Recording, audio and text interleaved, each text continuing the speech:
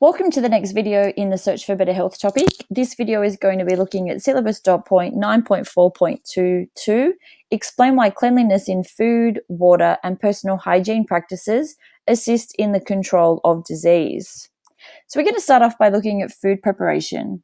So food poisoning is on the increase in modern society. So people are heavily relying on takeaway rather than cooking healthy food themselves and a lot of these takeaway venues aren't practicing safe uh, food handling techniques.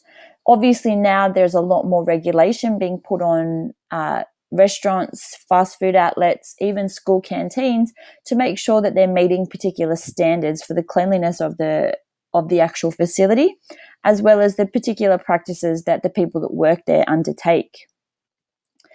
So, poor food handling and hygiene contribute to the rapid multiplication of bacteria that causes food poisoning. So, salmonella, we know, is one of the bacterial uh, sort of individual types of bacteria that causes food poisoning, and salmonella reproduces extremely quickly in the right kind of environment. So, when temperatures are between 5 degrees Celsius and 60 degrees Celsius, these bacteria can reproduce extremely quickly. So, that's why food needs to be stored below 4 degrees Celsius in a refrigerator, or when it is cooked, it needs to make we need to make sure that before food is served that the temperature is checked to ensure that the temperature has risen above 60 degrees Celsius throughout the whole um, food in order to get rid of that bacteria. Also, if food is laying out, then there's adequate time. The bacteria can reproduce from one individual uh, bacteria to over 2 million bacteria in just eight hours.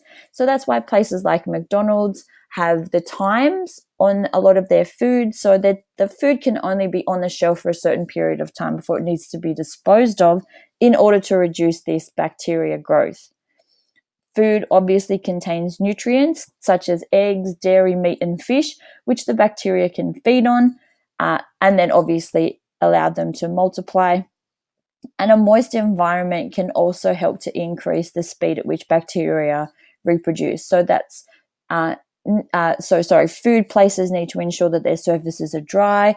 That after they've washed up particular things, that they dry them properly to make sure that uh, this moist environment isn't there to aid that bacterial growth.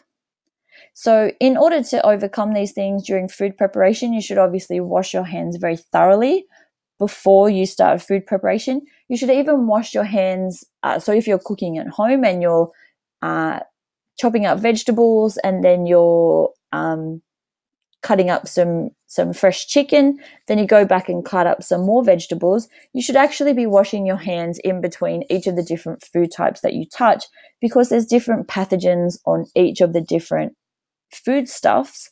So you can be transferring those pathogens in bet- uh, between the different foods. Obviously, if you have any broken skin, you need to cover that with a band aid. And for anybody that works at McDonald's, you know that you've got those blue band aids that are very visible if they come off. need to make sure that cooking utensils, cutlery, uh, cookware are all cleaned very thoroughly. So, usually put through dishwashers where the temperature reaches quite high, about 70 to 80 degrees Celsius, which, as we know, helps to kill that bacteria. Should never touch your face, your skin, your hair, and then touch food without washing in between. Should always wash all fresh produce, so fruits and vegetables.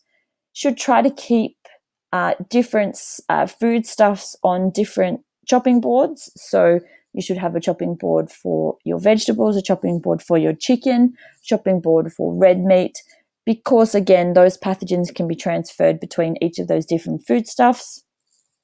Fresh food should be kept in the refrigerator at four degrees or below in order to stop food reaching that temperature where bacteria grows. And you should ensure that the cooking temperature is reached and that the food is cooked thoroughly before it is served. So, what about clean water? So, water is a good environment for growth of disease causing microbes because, as we said in the previous part, that a moist environment is great for bacteria. So, many of the bacteria or the other microbes that cause disease are not visible without the microscope, and they can be present in our water supply and us not even know about it. So, drinking water provides these microbes with easy access to our internal structures. So, if they're microscopic, you get a glass of water, you can't tell whether there's any microbes in there because the water looks clear. Uh, it doesn't smell funny. You drink it, and those microbes then enter your body. The temperature, the environment, all those things are then optimal for bacterial growth, and they basically have a field day. The great thing is in Australia and Sydney in particular is that the water that arrives to our house via the water supply is hopefully already clean because it goes through a number of very strict procedures and processes such as filtration and the addition of chlorine in order to kill off as many of those bacterial uh, organisms as possible. We did have an outbreak back in 1998 of uh, Cryptosporidium and Giardia, and quite a large uh, population of people in Sydney got sick from um, an outbreak in our Sydney water, but we'll be having a look at that in class. So, personal hygiene, hopefully, this is just a little bit of common sense. So, personal hygiene is important to maintain your health and obviously to pre- prevent you from getting diseases. Soap, detergents, and disinfectants can help you to do this. And we'll be having a look at um, these a little bit later as well, in particular antibacterials and things and the positives and negatives behind them. Dental hygiene obviously keeps the bacteria that's present in your mouth under control. So we have normal bacteria on the surface of our skin and in our mouth. So we need those to help balance the good and the bad bacteria. So by brushing, flossing, using mouthwash, you're keeping the bad bacteria at bay, but not necessarily getting rid of too much of the good bacteria.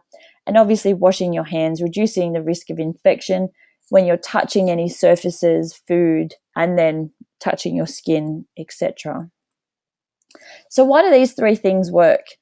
There are a huge number of disease causing organisms everywhere around us. Every surface that you touch, somebody else has touched that's potentially carrying a disease, especially in public toilets, on public transport, at school, you can imagine all the surfaces that you touch at school that other grotty little kids have touched that haven't washed their hands, your keyboard, your steering wheel in the car. Some of these places are the biggest harborers or biggest populations of dis- of uh, bacteria and things uh, on things such as your keyboard, your mobile phone screen. So you touch your skin, you touch your hair, and then you get and play your phone and you don't wash your hand in between. So just imagine all those microscopic little organisms that are living on the surface of your phone and on your keyboard.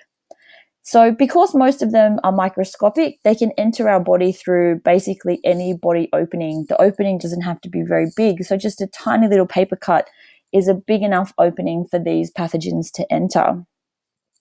Eating food and drinking water is obviously an easy way for these microbes to get into our body. So, therefore, we have to minimize um, the microbes that are in the food and water and on our skin in order to reduce the risk of infection. So, good personal hygiene ensures that these body openings, so if you do have a cut, washing it using antibacterial, using a band aid, so it stops a number of microbes that are able to get in. Okay, then once they get in, our body has a number of different defense systems that we'll be looking at in order to try to keep those microbe levels low. So, since we can't see the individual microbes, we need to take a number of precautions or as many precautions as we can in order to protect us to stop those microbes from getting in in the first place. And then that brings us to this the end of this video. So, thank you for watching.